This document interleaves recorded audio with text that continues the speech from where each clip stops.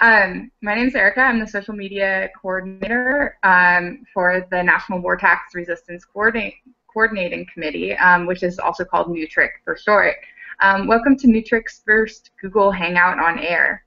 Um, before we get started, for those of you who are unfamiliar with our organization, I want to tell you a little bit about NUTRIC. Um, War Tax Resistors founded NUTRIC in 1982 to inform current and prospective resistors about legal and practical issues and to provide support in the community to people practicing war tax resistance.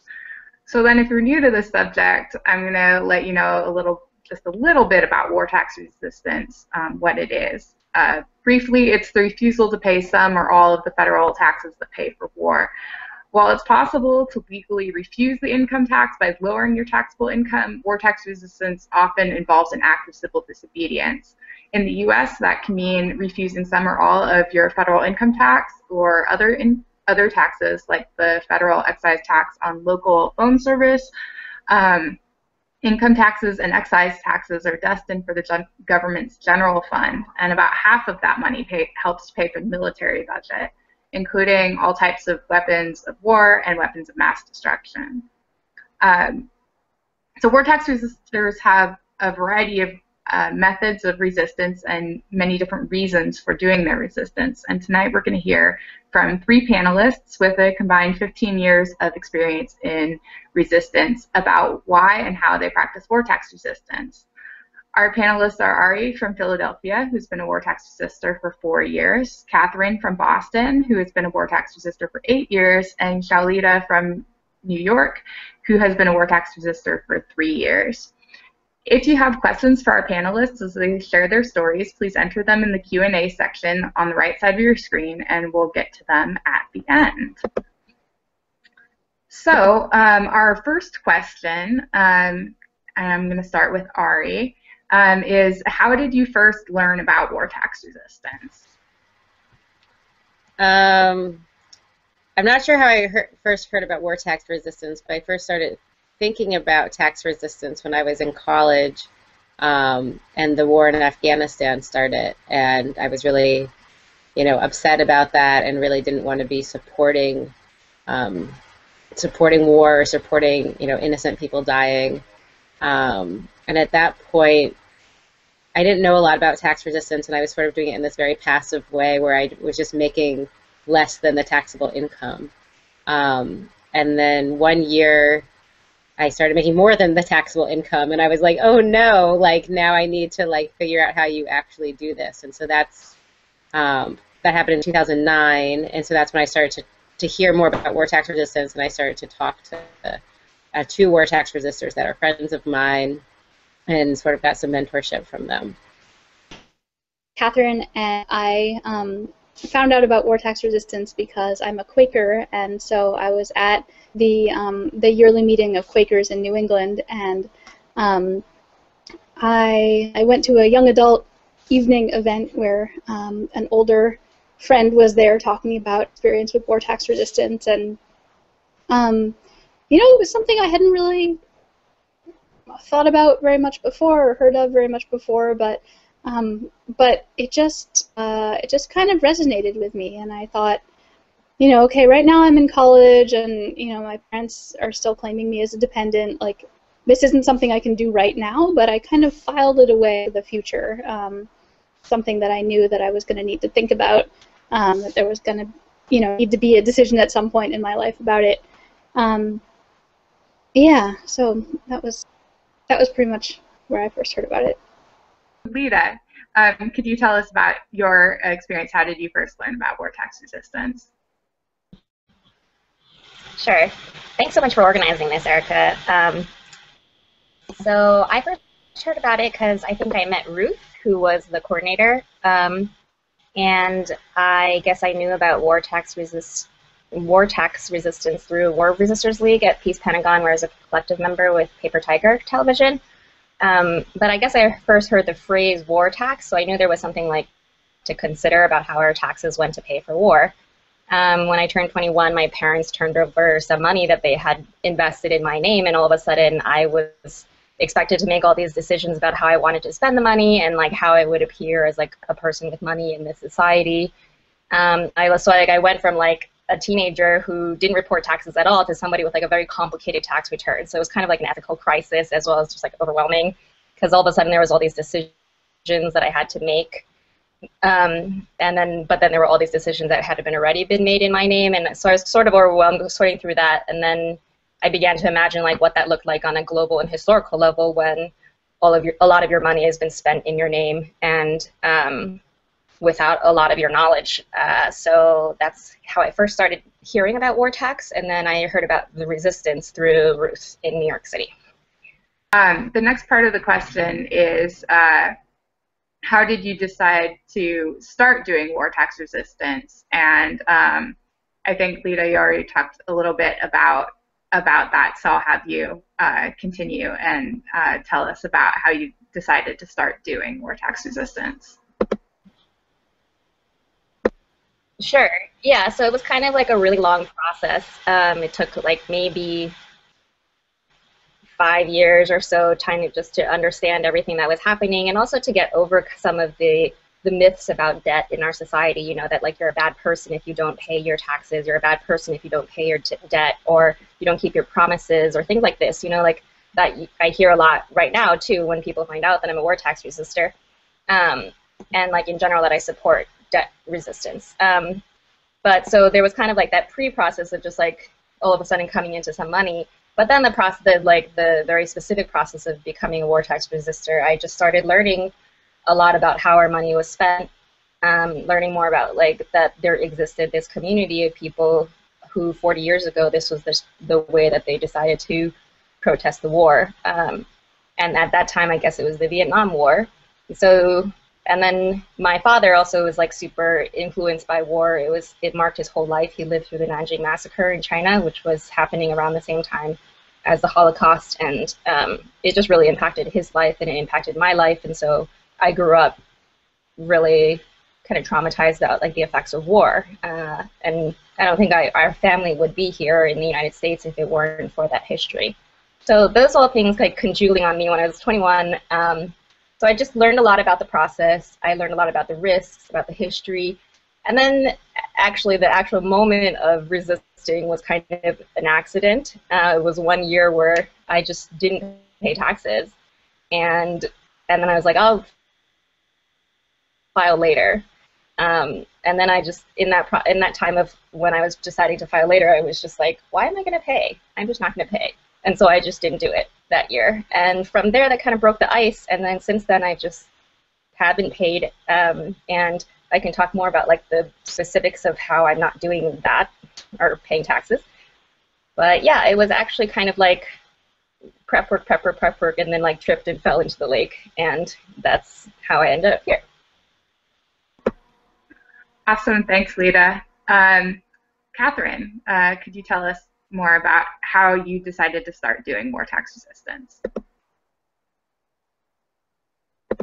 Sure. Um, so, so you know, it started that, that day in college when I heard from this other war tax resistor about what she was doing, um, and so that kind of did the seed for me. And then, um, and then I graduated and I went to work for a Quaker organization, and um, you know, and while while I was in college, the wars in Afghanistan and Iraq had started, and um, you know, I was I was out, you know, out in the streets protesting and trying to find, you know, every every way that I could to resist what was happening. Um, and I was thinking about the way that you know, my government does that in my name and how I didn't want to participate in that. Um, so so time came when I had to do my taxes for the first time, and um, and you know, I was just I was just thinking about it, and actually, I remember there was a particular moment um, when I was um, I was remembering a scene from um, from Fahrenheit 9/11 um, when they're filming military in a mall parking lot, and they're talking to these two young men and and convince them to join the military. Um, and you know, the recruiter says to one of, you know, what do you want to do when you get older? What what are your career plans? And and he says, well, you know, I, I really love music. I would love I would love to be a musician. And and the recruiter says the military is great preparation for a career in music. And I was just so outraged, you know, as a musician myself and, you know, as a pacifist. I don't know what was that that particular moment, but like I just remember like wanting to like stand up in the theater and be like, no, like somebody tell them they don't have to go. Like, you know, it's like watching these two young men like you know, being lured into walking off a cliff and just like I don't know, some reason that that moment stuck with me. I don't know why, but but it came back to me a few years later uh, as I was thinking about paying my taxes, and um, it was just really clear to me, like, you know, I pay that guy's salary, like that military recruiter. That's us paying him to that, like paying him to lie to people and you know try to pull them away from their lives and their dreams, families, and um, you know make them learn how to kill other people. And um, you know, I just want no part of that. So, um, so then actually, I went through a clearness process with my Quaker meeting, which is this really awesome part of the Quaker tradition where. Um, if you're making a big decision in your life, you know, people do it for marriage or for joining the Quaker community or um, for other things like war tax resistance. Um, so I got together with the people from my meeting and they asked me questions to help me really think this through and make sure it was really what I wanted to do. And uh, you know, so after that process, I decided that I really wanted to do it, um, and um, and I had the support of my community behind me. Um, yeah, so that's when I started resisting. Yes, that's it. Great, thanks, Katherine. Um, Ari, how about you? Um, how did you decide to start? Um, so I, yeah, I started. I decided to start. I mean, really, at first, it was like this super passive thing where I just wasn't making above the taxable income, and so I would file my taxes each year, and I would get all my money back, and it, you know, and I just felt good that I wasn't supporting these wars. You know, the wars in Afghanistan and Iraq really, I think, traumatized a lot of people um, in my generation, and um, yeah, I I was doing that for three years, and then one year I made more than the taxable income, and I didn't get all my money back. And I remember just feeling like this heartbreak. I, you know, I just felt like, how can I be supporting this war machine? How can I be, you know, supporting our, our military is not just killing people, but it's also, you know, it targets like low-income communities and communities of color and takes people away from their families, and they die young and they you know marry young and have babies young and then they you know leave those families. And for me that's just like heartbreaking to think about and like really traumatizing. And at the time i was working with low income youth um, in maine. And you know a lot of our youth after they graduated from high school didn't have other options and were going into the military. And we had all these like conversations on staff about that and about how we felt about that. And you know, we would always wonder, like, are they going to come back? Or, like, when's the next time we're going to see them? And so in 2009, like, yeah, for me, it was this, like, this heartbreaking experience of realizing that I was helping to fund that system and I was helping to fund this, like, U.S. imperialism that I really, you know, feel strongly against and feel like I do a lot of work to try to, like, take away that power. But then here I am, like, financially supporting it. Um, and so yeah, so that's when I started to talk to these two people I know that have been war tax resistors for much longer than myself, and just learning a lot more about it and trying to understand not just the tactics for how to resist, but also the other reasons that people do it. Um, you know, I think what I really love about war tax resistance is that everyone does it for some personal reason, and it doesn't have to be the same reason for everybody, and people don't use the same tactics either. Um, and so hearing from them, and I actually I talked to Ruth also, um, and just like reading, I was just like consuming as much information about it as possible, and then also consuming as much as I could about taxes and the tax code and how that works, and also getting really angry, you know, that even in addition to like our military system targeting low-income communities, our taxes also target low-income communities, and just feeling like it's really super messed up that we're like sending these folks off to war and then we're like taking even more money from them through the tax system also. So these two things just like were really heavy for me, um, and I knew I didn't want to be supporting. I didn't want to be supporting a government that feels comfortable just like invading other countries and killing innocent people and taking you know people away from their families here, and that that wasn't that's not how I see my country. That's not the country I want to be representing, and that I that I couldn't continue to even like accidentally fund that. Um, and so that's really what led me there. It was it was a hard decision. I was really scared. Um, the first year I was doing it, I was like really terrified that I'd like get in a lot of trouble, and um, I think I'm still scared in a lot of ways. But I also like feel comfortable that that's the right decision, and you know, there's no part of me that feels like I'm making the wrong decision. Great. Thanks, Ari. Um, so now we're going to come on to a sort of uh, two-part uh, two-part question that's more about, um, and some of you, you know, some folks have already answered this in some way or another, but if you have additional details, um, it's sort of a two-part question. How how do you do war tax resistance? So specifically, like what what method of resistance do you use, um, or methods? And um, if you could talk a little more for folks about what the consequences of war tax resistance have been, um, both positive and negative. And uh, let's start with Katherine this time. Okay.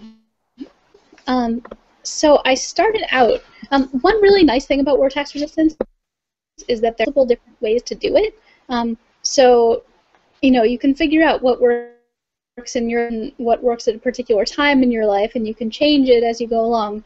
Um, so that's you know, one really good thing about it. So um, I started out resisting by um, filling out my tax forms every year and then just um, sending, you know, along with a letter saying I'm not going to pay. Um, and I resist 100% of my income taxes um, because I know that whatever I do pay will just go into the general pot, and um, you know about half of that ends up going to war-related expenses. So, um, so I just uh, don't pay any of them. Um, and you know that entailed doing W-4 resistance um, to uh, you know to stop the withholding, and then um, and then at the end of the year um, refusing to pay. So, um, so I did that for several years, um, like like four or five years, um, and um, you know, and I would get letters from the IRS saying, um, you know, you owe us this money and please call us, and you know, and then eventually I got one that said, this is a final notice of intent to levy. you know, you have a right to a hearing. so actually, let's see. I could I could talk about this for a really long time. Maybe I'll skip the story about the hearing for now. But um, then you know, so I had a hearing, and then they they said, okay, um, you know, we still think we found you still have to pay, and so we're going to collect your money from you. So. Um, so they've they've seized various chunks of money from various places, you know, bank accounts, or they went to an employer one time, or you know, things like. Um, and uh, you know, so that's uh, that's what's been going with the taxes from those years. Um, I still have some outstanding that they're still, uh, you know, presumably uh, trying to get eventually. Um, and you know, so that's been one of the consequences is having money unexpectedly seized. Um, so that can be nerve-wracking, you know, and I think the letters that they send are designed to produce anxiety. Um, you know, in my case, like I put my money into an escrow fund so that I could get it back again um, if it ever was seized by the IRS. Um, and then that simultaneously meant that I wasn't pers- benefiting from not paying my taxes. So, um, so I thought that was, you know, that was a good way of, like, a practical way of dealing with that consequence. Um, and also, I just know that I have my, my community behind me, and I'm not gonna, um, you know, if I if I get money and then I'm in financial trouble, like I know that there are people who will help me. Um, so you know that consequence hasn't been as scary as it could potentially be. Um, I also don't have a mortgage, children, or anything like that. So um, you know that at this time in my life, it's been the consequences have been fairly small. Um, so I did that for the first for the bunch of years, um, and then after that, um, I started um, resisting legally by um, keeping my taxable income pretty low, um, and then also um, putting some into a an IRA account. there, there's this really great tax credit that you can get for putting money into an IRA, and especially if your income is already low, you can actually legally reduce your tax burden quite a bit. Um, so I've actually been able to reduce it down to nothing for the last like three or four years. Um, so that's been that's been really good. I don't know if that's going to continue to be the way I do it, you know, long term, or if I'm going to um, be doing it illegally again in the future. Um, I do consider, well, you know, I consider the breaking the law part um, of the witness in a way because it draws attention to it. It's a it's a risk. It's a way of making a and saying, I refuse to do this. Um, so I think it I think that's really useful.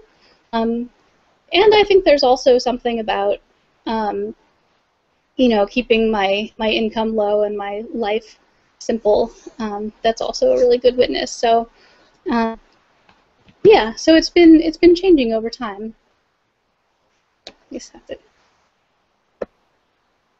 Awesome, Katherine. Thanks. Um, yeah, and that's something that uh, I think a lot of resistors find over time is just their uh, strategy of resistance changes, um, and they adopt different strategies. And um, that's one of the great things about our community of war tax resistors is we just have so much information available and so many stories to share about how people do things that we can rely on. So. Um, so that's really great. Um, all right, uh, Lita, if you could tell us more about how you do war tax resistance and what the consequences have been. Sure. Um, yeah, I just want to echo what you said, Erica. I think like a lot of people see this as a really black and white issue in terms of like, do you or do you not pay taxes? And actually, there's just so many. There's such a diverse way of doing this that it really can fit and work for anybody. Um, and so I guess for me, I just don't report. I take I, I, take consulting things in piecemeal so that the people in the organizations that I work for don't have to report that they paid me either, if I can. Um, I will eventually, I think, I've decided to submit peace tax returns, which is basically like submitting a tax return that's that declares to the government the reasons why you're not paying these taxes. Um, and so I divert the money that I save, uh, save from more tax resistance to uh, local efforts and projects that I like. So a lot of it basically goes directly to my local school um, because I prefer to just directly support education, which I think all of my taxes, I just want all of it.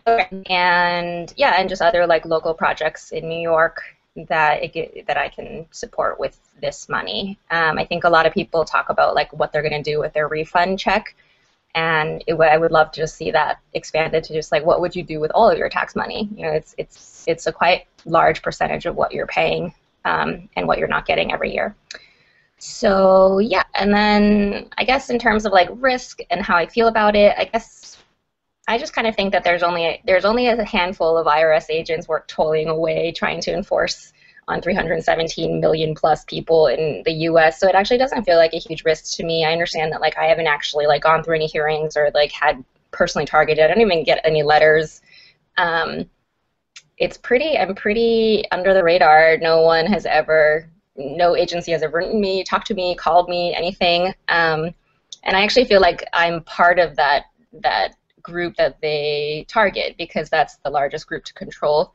So I'm surprised that I haven't gotten anything actually. So I'm kind of like preparing for it. Um, and the, the, so I would so the peace tax return probably would be my next step, and then I'm also looking at some more like complicated maneuvers in terms of like creating land trusts to um, to put your property in, and then it also just like you can share the property with yourself, your family, um, but it's it's kind of held in trust for in perpetuity. So just kind of trying to learn more about these kind of structural ways of of keeping your money for communities and not for war uh, to like build up communities here. So and I guess the consequences. Um, I'll start with the negative consequences so I can end with positive consequences. The negative consequences have, well, one concrete consequence is I've had trouble applying for financial aid when I decided to go back to school because I didn't have any tax returns to show. So the financial aid advisor just didn't understand. Um, I think I've been a little scared to explain it to him and also kind of like I just don't really want to take the time to explain it to him. But I think that he could understand based upon some of his understandings of like if you are someone who like an undocumented person and didn't pay taxes, you know, kind of like I think he sort of understands that people don't pay taxes who exist, but I mean a lot of undocumented folks do pay taxes too, you know, just um, so that's one issue that I've had. So I've had to like look for external funding for school um, and just applying for foundation support and other things like that. And it's actually been really gratifying to see all of these folks who do support undocumented students or other people um, and don't rely on kind of like this one measure of how human or how how much you pay for society um, to judge whether they should support your education. Um, and so, and then, so, and then the negative, other negative consequences I mentioned before is kind of like there's like social consequences in this really strange way. Like people don't really understand what you're doing, and so they have a lot of assumptions about who you are or why you do these things. Um, and so that's been difficult to navigate. And I think like one thing that's been helpful to kind of like be really honest about the reasons why I do it, um, and just like be really clear. And so I guess that's like bleeds into the positive thing is that I guess I personally I just feel better about like the kind of like autonomy decisions that I'm making about my life. Like I'm not so naive that I think that like my war tax resistance is going to stop the war. Um, it just kind of makes me personally in line with like a line of history that I feel really indebted to. Um, to like not financially be part of a genocide that kind of like marked my family in a lot of ways. Um, so I guess I feel like I'm carrying on some of my like family work via this. So in that small way, it's it's makes a huge impact and a huge positive impact on my life. Yeah. Thanks for sharing your story. Um, and also, um, thanks for bringing up redirection, because I know that's a thing that um, a lot of war tax resistors do and feel really um, feel really strongly about. So, um, yeah, that's a theme that we've been talking a lot about throughout NUTRIC is just highlighting these um, positive things that war tax resistors do with the money they resist. We're not just holding on to it for ourselves. We're, you know, we're also yeah. doing really amazing work with it. Yeah, just to add to that, I think like it's actually pretty interesting to really be clear about like what exactly I would want to support with that money. You know, like right now the government decides like how they spend your tax money, but it's pretty fun to think about like, well, do I support my local schools 100%, 80%, whatever? You know, it's kind of just like you create your own algorithm of what you would dream that your society would be like, you know, like how much you would invest in certain things. Like, I mean, you don't pay for potholes re- renovations in your in your town, but you can you can if you wanted to, and it kind of dovetails with like I think there's excitement about participatory budgeting in Chicago and New York right now, where some of the council people are letting communities decide how to spend the money, and um, and that's it's it just helps you be, it helps you be really aware of what your values are and how you would spend your money. So it's it's it's an interesting exercise. Great, and um, last but not least, uh, Ari, um, how do you do war tax resistance, and what have the consequences been for you? Yeah, um, so I I'm a W4 resistor, I I claim an absurd number of allowances on my W-4 so that I um, don't pay any federal income tax out of my paycheck, um, which, yeah, is kind of insane but fun. And then and I do file my taxes. I actually sort of obsessively do taxes. I'm a math nerd and really enjoy the process of going through the documents in this way that feels really bizarre. Um, and then I redirect 100% of, of my tax dollars. And so I, I redirect it to an organization um, that I have been a part of for a number of years from where I live. I used to live in Maine, and it Uh, the organization is based in Maine and really works on um, affordable housing and expanding public transportation and access to education. And sort of like Lita was saying, like, you know, I want to be supporting the things that I feel good about. I want to be supporting, you know, my community and communities I've been a part of. And so it's really important to me that the money not just be held somewhere. Um, and then one thing I do also to sort of to reduce my tax burden in general is I redistribute. Um, I redistribute about 25% of my income separate from the tax dollars also. Um, and that ironically reduces how much I owe in taxes because gifts to charity you can write off. Uh, but it also makes me feel sort of better about what I'm funding and that it's not just about redistributing what I owe in taxes, but it's just about wealth in general and who has wealth in the society. And if I, you know, if I can be funding things that are going to make it a more just society and a more equal society, um, then I want to be doing that. And so, um, yeah, so that's sort of how I how I do it. Um, and then as far as the negative effects and positive effects, the negative ones are um, I loan, I make loans to, I do like community finance loans to organizations um, instead of having a savings account. And a few years ago, the IRS tried to uh, take one of those loans or part of one of those loans um, in order for me to like repay my taxes. And that, you know, that felt really horrible because they were trying to take money from an organization that I was like trying to support. Um, but ironically, they sort of messed up in the process and they didn't end up taking any money. Um, and that same year, I was getting letters from the IRS like very frequently, like every you know every month or two, and like you know they were threatening, and I think Katherine was saying like they're meant to be threatening, you know the letters are meant to scare you. Um, I didn't do anything about them and I didn't move my money either. You know, sometimes if you if you find out that IRS is coming for some money or whatever, you know, like the the organization I'd loaned the money to had said like, "Oh, do you want your loan back?" So this isn't a problem, and I was like, "No, like let's just see what happens."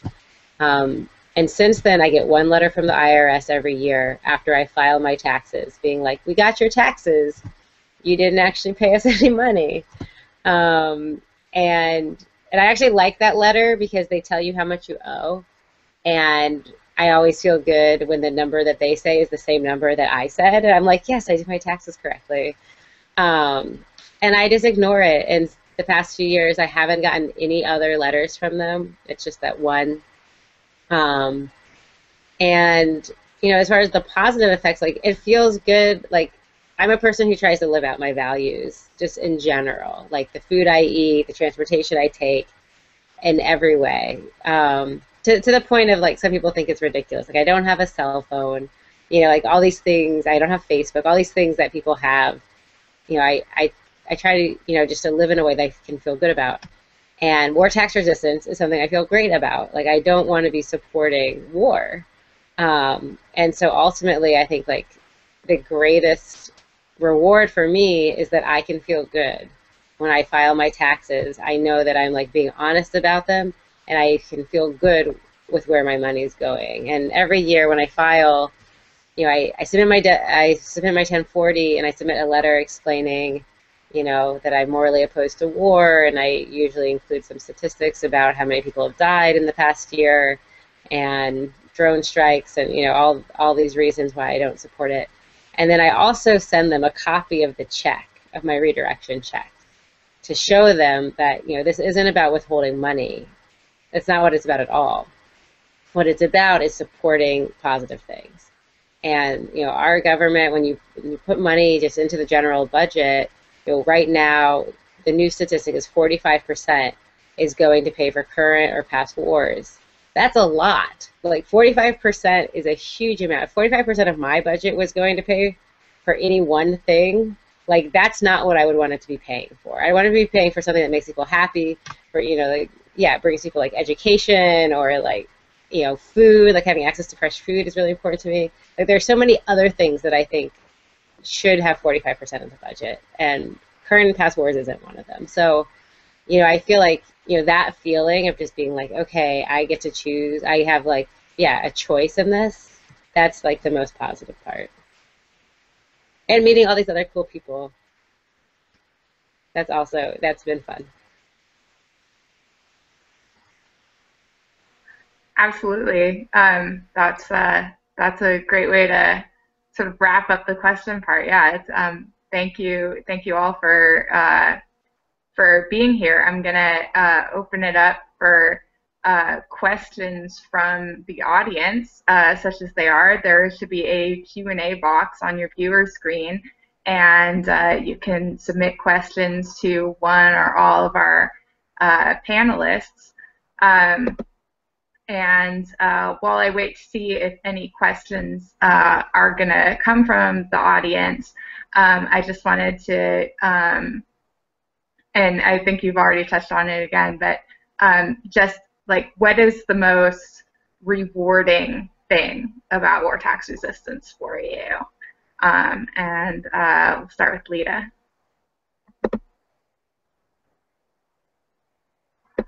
Um, the most rewarding thing.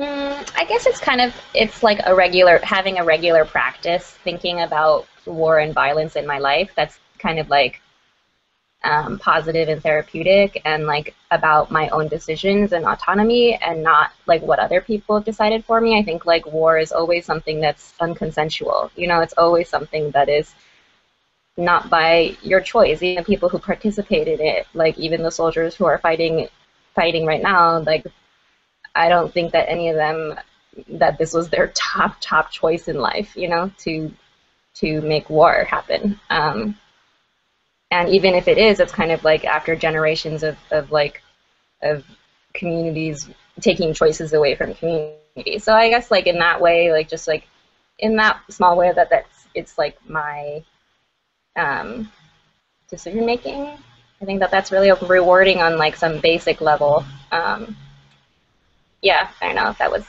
too abstract, but yeah. Yeah, that's great. Um, Ari, what's the most rewarding thing for you about war tax resistance?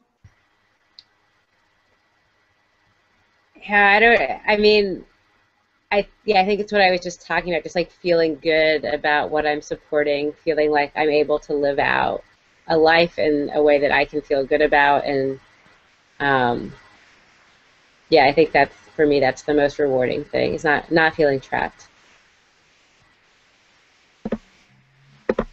Okay, and Katherine. Um, yeah, I would I would say you know similarly to what uh, what the other two have said, you know, like um, you know living living in a way that's um, that's in accord with my values. Um, and uh, you know, for me, um, it's also it's partly about being a Quaker. Like I feel like I'm living out my faith in a really, um, you know, clear way. Um, yeah, so that's I mean that's the main thing. Um, but also um, also being part of a community of um, of just really awesome people. You know, people who are looking at the world um, in a way that makes sense even when stuff seems insane around us and um, you know just getting to be with people who are um, who are doing something pretty bold. Um, so yeah I think living my values and being part of a community are the best consequences for me. All right.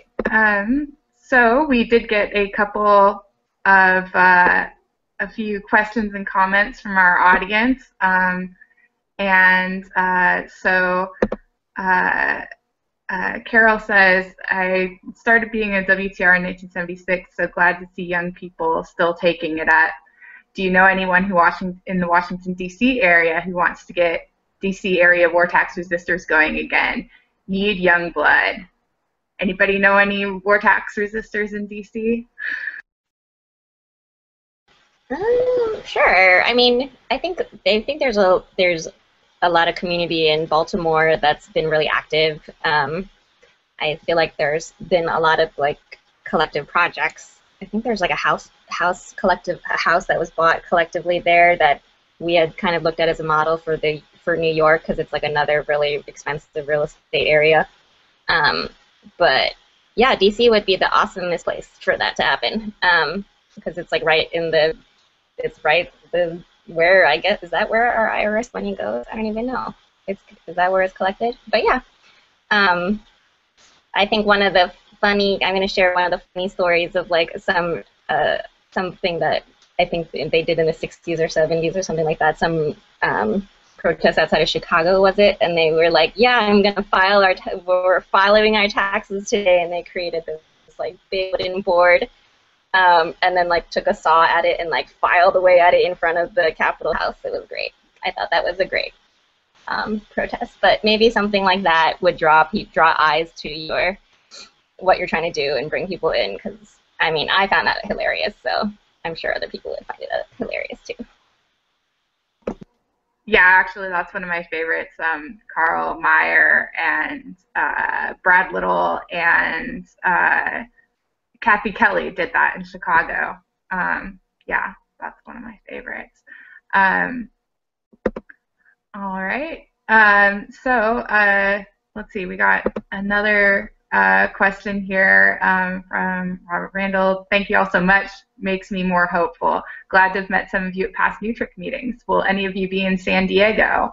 I'm going to be in San Diego. I don't know about anybody else.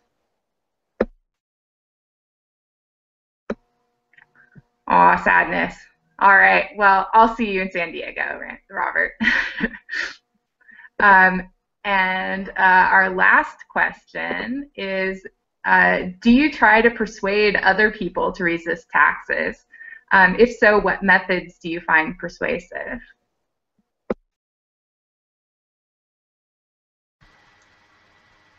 Um, I don't try to persuade other people. I tell other people what I do, and I think I, you know, I'm very open with my community, um, my friends, about my war tax resistance. And ultimately, I think you know it's a personal choice of you know what people feel comfortable with. I think especially since what I, you know, my form of resistance is not legal.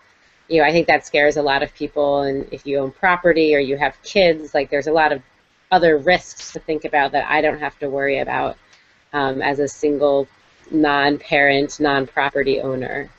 Um, but you know, I when I talk about it, I try to make it accessible. I talk a lot about how war tax resistance can be different things for different people, and you know, even resisting 50 cents is an act of resistance, and that that's important and that's necessary. Um, and I, you know, try to make it accessible for people and let them know that what's, yeah, like we brought this up earlier. What's really great about this community is there's so many different ways of doing it and so many different things, and it can really be something that works for you. And so if you can't resist 100%, but you you know you believe in it and you want to resist just a dollar, like you're still a war tax resistor, and that still matters. And I try to make that really clear to people that there's not, you know, be, being 100% resistor does not make you a more of a resistor than a one dollar resistor. Like everyone's part of the movement, and everyone's important in the movement. And I think that's really the most important thing to get out there.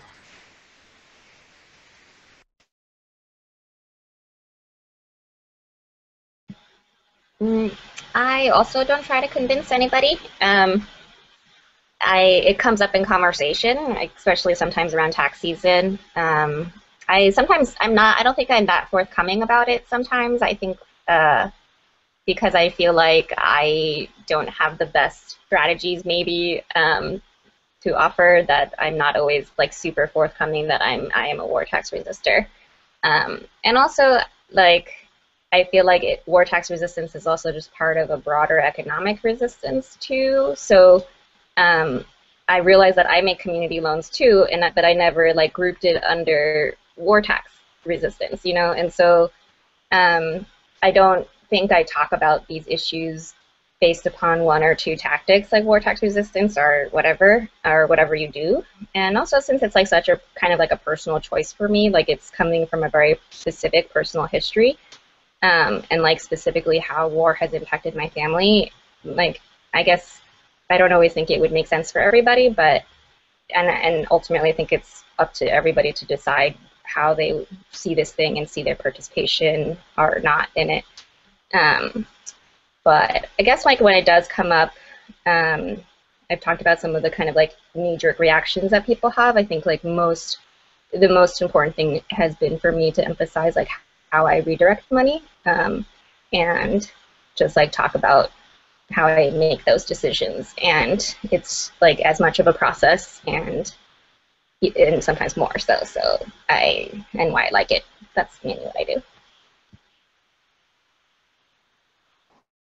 I think I think for me it's kind of a um, you know I have to figure out, um, kind of the line between everybody needs to make their own choice about this stuff um, and also um, just knowing uh, part of part of what I'm doing is wanting to be visible about it. You know, wanting to to tell everybody, um, hey, we don't have to just you know, do what the government says all the time. You know, just because they want to have a war doesn't mean we have to, you know, participate in it um, in every way that they're trying to get us to. Um, so, you know, on the one hand, I don't want to, you know, come off as like, you know, self-righteous or or you know haranguing people like you ought to do this and you know any of that kind of stuff but um, but yeah i think there's there's kind of a like leading by example thing like um, you know you don't have to participate in war and um, you know here's what i'm doing and you know you can do it too in your own way